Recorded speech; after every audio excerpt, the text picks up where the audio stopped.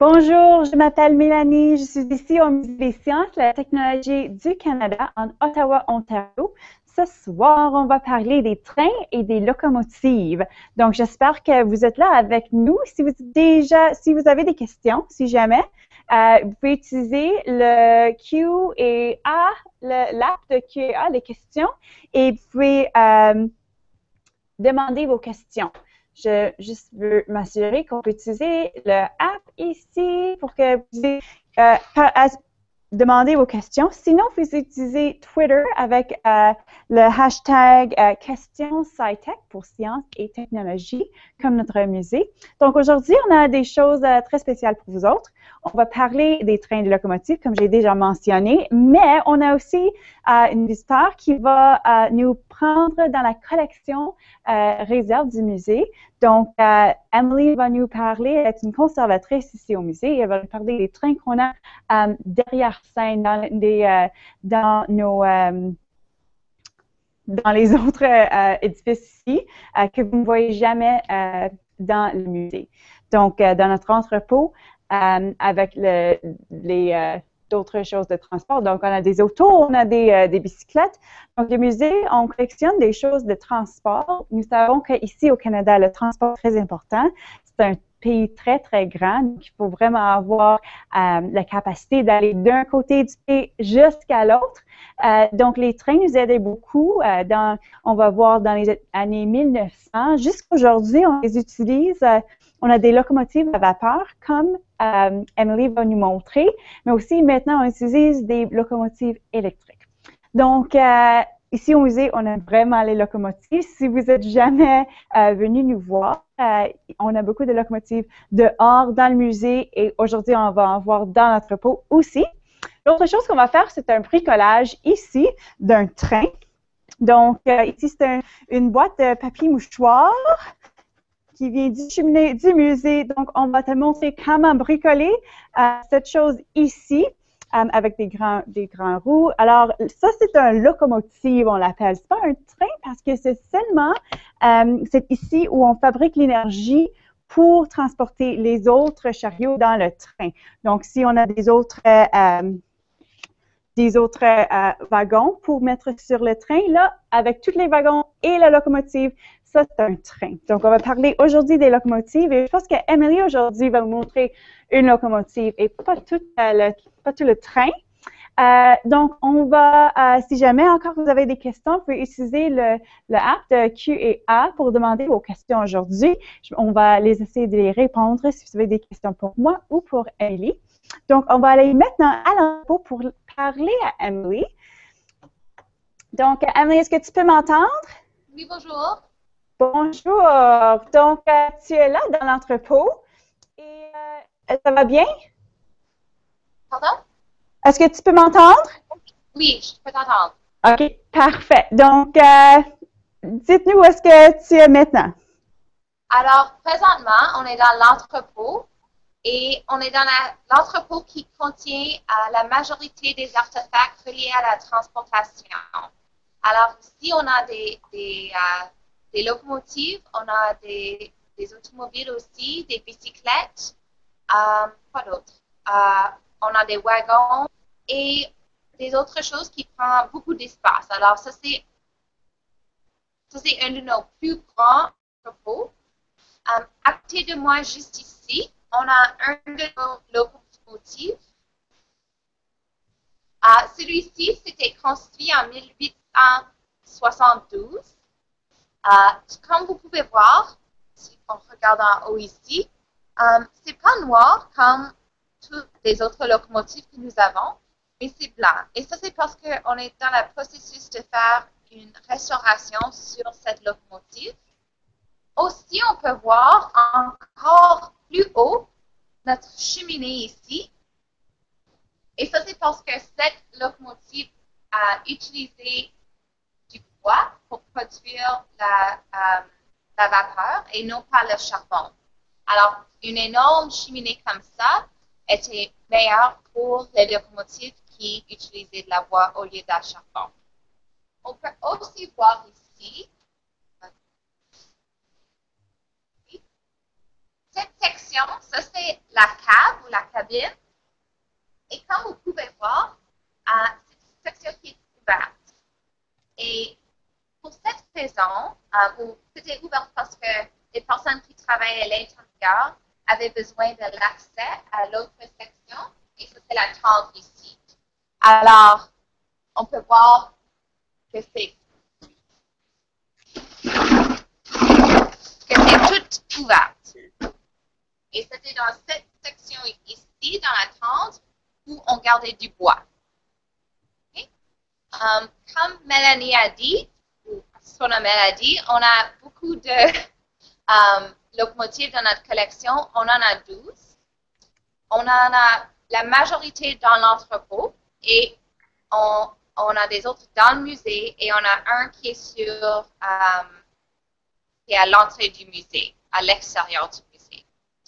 On va continuer par ici.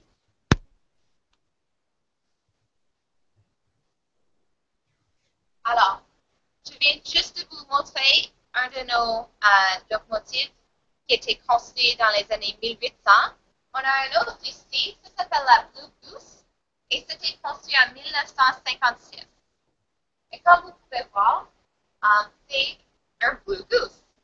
C'était construit par General Motors, euh, mais ce type de locomotive n'était pas très populaire. C'est très rare d'avoir cette sorte d'artefact dans notre collection parce que ce n'était pas un artefact ou un, locomotive très populaire.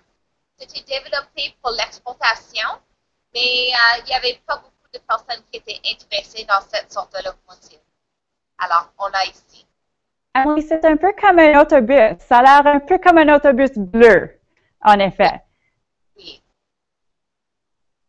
comme vous pouvez voir, il y a différentes couleurs de bleu là-dessous et aussi la rouge. Identique un côté à l'autre. Alors, euh, l'avant, où on voit ici, c'est la même que euh, l'arrière de cette locomotive.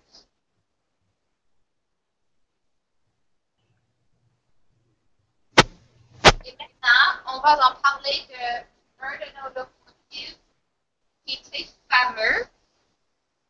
Euh, ça, c'est le 1201, le 1201.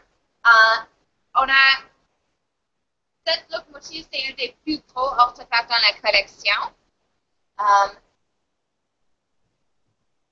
oh, je pense qu'on a, on n'a pas, Amélie est, partie. Je vais l'inviter encore parce qu'elle était en train de, je pense qu'elle va revenir, elle va essayer de revenir, elle était en train de me parler du 1201, la locomotive à vapeur qu'on a ici dans l'entrepôt. Donc, c'est l'artefact la, la, plus grosse dans notre collection, la plus lourde en effet.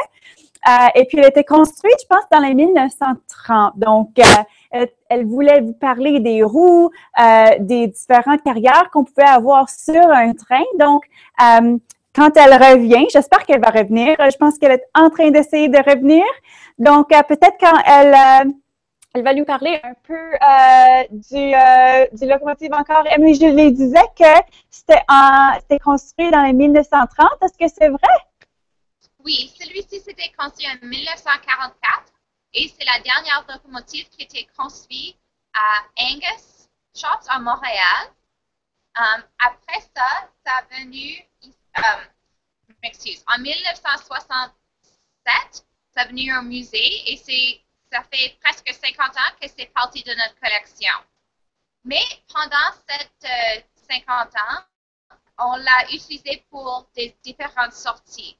Alors, dans les années 1970, c'était utilisé pour euh, tirer un, wagon royal au Canada.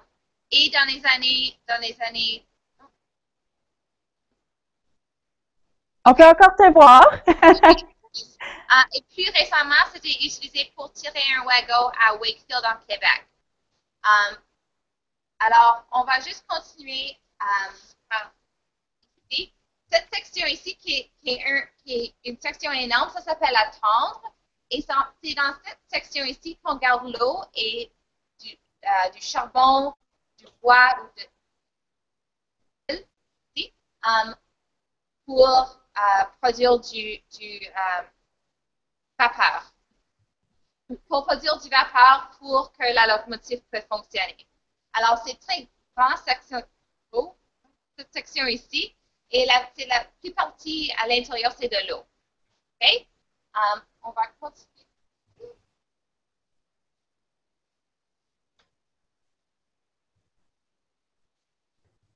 Alors, à côté de moi ici en bas, cette section de la locomotive s'appelle la mécanisme de rail et comme vous pouvez voir, c'est toutes des roues.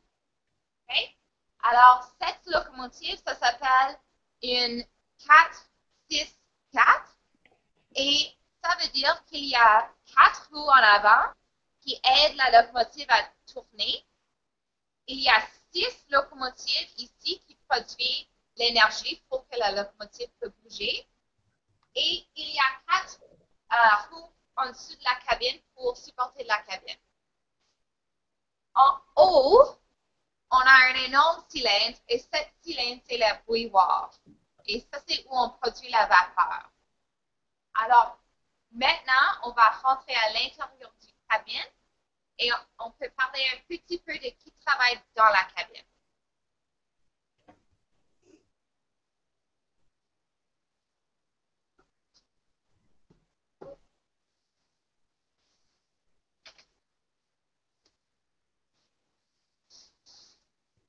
Je vois qu'il fait un peu noir dans la cabine. Emily, est-ce que vous avez des lumières pour vous aider aussi? Oui, on peut utiliser ça ici. Alors, on est dans la cabine maintenant et c'est la grandeur d'une petite salle.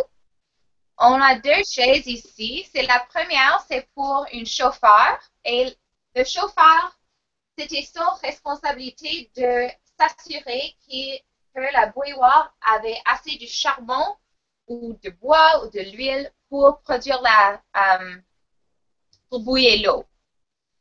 On avait aussi une, euh, personne qui travaillait de l'autre côté, ou un, des deux côtés, et ça c'était l'ingénieur. Et c'est l'ingénieur qui euh, opérait la locomotive. dans certaines des locomotives, alors souvent c'était juste deux personnes qui travaillaient ici, mais on avait la capacité d'avoir une autre personne. Et ça, c'est son responsabilité, c'était d'opérer les freins. Alors, on pouvait avoir trois personnes, sinon l'ingénieur opérait les freins. Et on peut regarder euh, la bouilloire ici, voir à l'intérieur. C'est noir. Euh, alors, mais c'est assez gros aussi. Alors, c'est probablement la même grandeur que la cab, ou la cabine.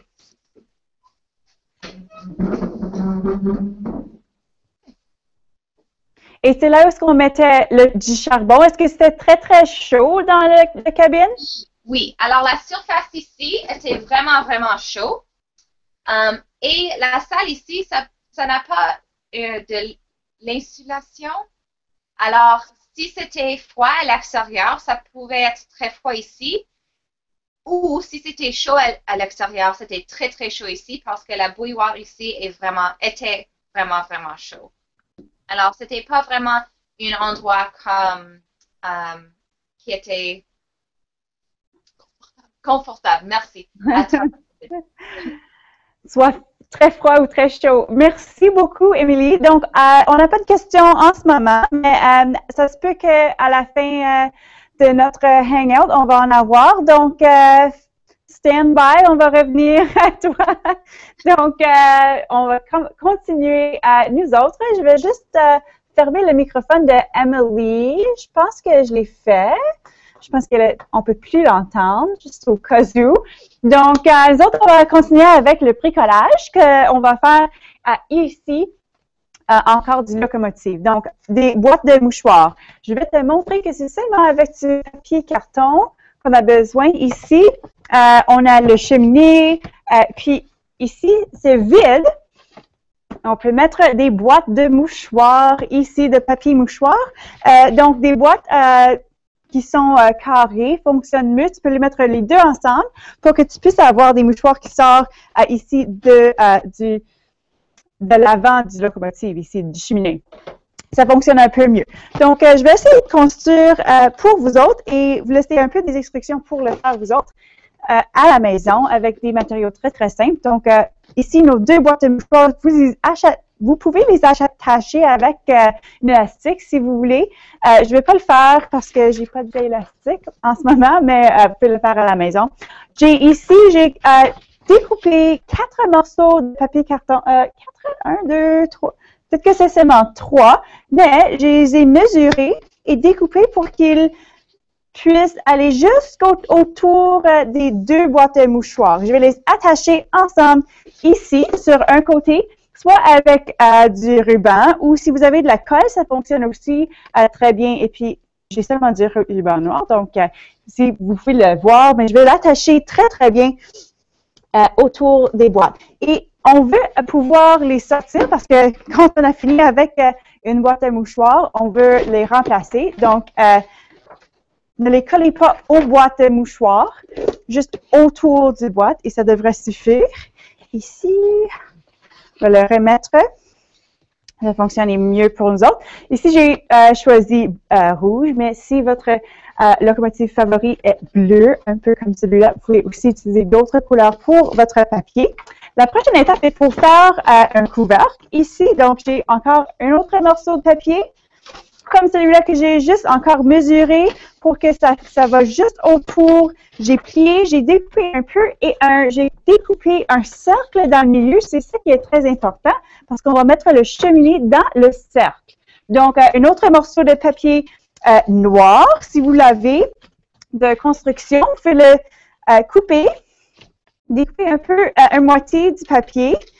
Et puis, on va mettre des, ici, on a un peu des langues dans le papier. Si vous pouvez le voir, peut-être ici. Donc, on a coupé juste avec des, euh, juste comme ça, pour que on peut rouler le cheminée comme ça. On va le coller ensemble, comme ça. Et après, on a un peu comme un, une araignée ici. On peut les plier comme ça, si vous pouvez le, voir. Et on va le mettre dans le couvercle. Et c'est ça le, cheminée. Donc, on va le mettre juste dans le cercle qu'on a déjà coupé. Sur l'autre côté, on va coller ou euh, avec du ruban, attacher les pattes pour que ça reste sur le couvercle. Il me manque un peu de papier euh, du ruban ici, mais voilà. Le cheminée est maintenant dans le couvercle. On va l'attacher sur, un peu le, toit. Donc, on va le mettre ici. Vous allez le coller après si vous avez mesuré bien. OK. Voilà. Maintenant, euh, je vais mettre du ruban encore. Le plus du ruban possible. Donc, du ruban invisible, ça, fonctionne un peu mieux, c'est un peu plus beau. Peut-être que je vais le mettre sur ce côté-ci. Euh, maintenant, on a besoin d'un petit toit pour, euh, c'est ça, la cabine, où est-ce que les ingénieurs et les conducteurs, les chauffeurs vont euh, s'asseoir. Donc, j'ai un autre morceau de papier comme ça sur le, ici, comme pour le toit. Donc, euh, maintenant, il nous manque quelque chose. ce sont des roues, comme on a vu avec Émilie, les, grandes roues sur le train. Donc, on va les mettre ici. On peut les attacher soit avec du col ou soit avec euh, du ruban encore. Ici, j'ai des couvercles qu'on utilise pour euh, quand on fait des, conserves à la maison. Donc, vous pouvez les acheter très, très, ils sont pas très chers. et si on a quatre. Tu peux les attacher comme ça, soit si tu veux le, le, côté argenté, tu peux le mettre comme ça aussi. Je vais juste attacher très vitement parce que j'ai un train qui est complété. Je vais vous montrer. Donc, vous pouvez mettre quatre roues dessus, faire un peu de, des, euh, si vous voulez. Et si vous l'avez fait bien, on a nos deux boîtes de mouchoirs, on va mettre le cheminée sur le côté avec euh, les mouchoirs. Tu peux utiliser les deux côtés du mouchoir après, si tu veux. Mais pour l'instant, je vais mettre ici. Sortir. Comme ça. Et maintenant, on a un boîte de papier mouchoir en locomotive. Donc, vous pouvez le faire à la maison, ajouter ce que vous voulez comme décoration. Si on a des lumières, vous pouvez ajouter d'autres euh, petites choses. On a des on a mis des, des, fenêtres ici sur la cabine pour que les gens puissent voir dehors quand ils sont en train. et j'ai, je pense pas qu'on a des questions. Je vais juste faire un, petit check, mais je vais vous montrer un peu les. je vais faire un. Je vais juste partager mon écran avec vous autres pour quelques secondes parce que on a aussi au musée quelques autres, euh, est-ce qu'on les voit? Quelques autres trains ou des locomotives. Ici, on a une image, c'est une image, c'est pas, euh, c'est pas dans la vraie vie, mais euh, on a le, locomotive, euh, le 6400, le 6400, et on a ce train ici dans le musée maintenant. ici, c'est un, photo quand il était, il le construit, ou il, je pense que peut-être il le frottait ou quelque chose comme ça dans les photos. Peut-être que Emily, c'est un peu plus ce qui arrive dans les photos, mais euh, ici, on a euh, euh, une, une photo qui a été construite pour Canadian National, pour la Nationale canadienne, la magazine ici, pour, pour voir la locomotive 6400. C'était aérodynamique, c'était fait comme très en rond pour que euh, l'air passe très vite devant elle. Elle peut aller très vite, euh, mais on a seulement fait cinq dans le monde. C'était pas très populaire comme comme train ou comme locomotive. ici, on peut voir des montagnes ici, peut-être dans les dans la Colombie-Britannique, et elle allait de côté du, du pays à l'autre. Et ici, on a les cinq locomotives qui ont été faites en ce, euh, construit comme celui-là, le 6400. Donc, euh, on a des photos de ce locomotive maintenant. On a aussi un locomotive dans le musée. Euh, mais ce que euh, et c'est un locomotive à vapeur aussi, comme Émilie nous a montré. Je vais juste retourner comme ça, parfait.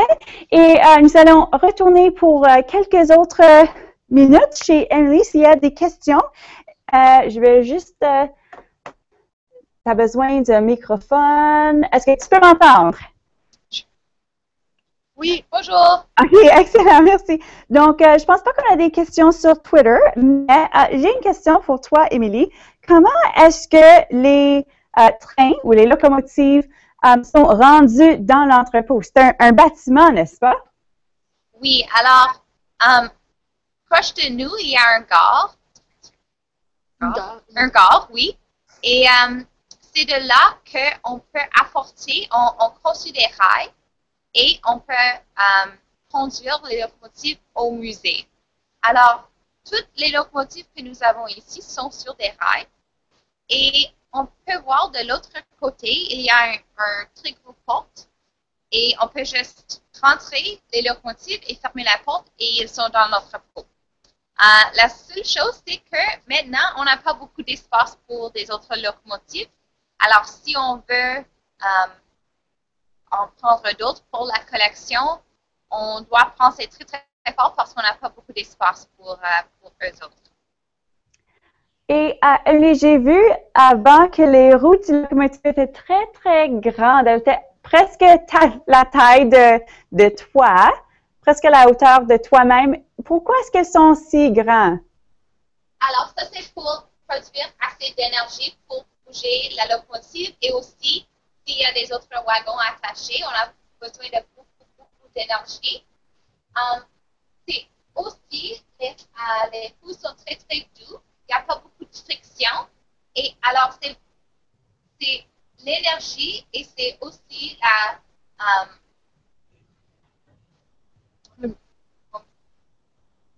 c'est aussi euh, la rotation des roues qui, qui, fait bouger la locomotive. Alors, si on a des roues qui sont très, très petites et on produit beaucoup d'énergie, c'est pas la même chose que si on a un roue qui est très gros comme celui-ci et ça bouge très vite, on produit beaucoup plus d'énergie. Parfait. Merci, Amélie, beaucoup pour être là ce soir. Euh, j'espère que tout le monde aussi euh, à aimer le, hangout ce soir. J'espère que vous pouvez mettre, faire un bricolage comme celui-là à la maison. Et peut-être si vous voyez la prochaine fois que vous voyez des locomotives ou des trains chez toi, tu peux en savoir un peu plus grâce à, à, nos trains historiques qu'on a ici. Donc, merci et au revoir.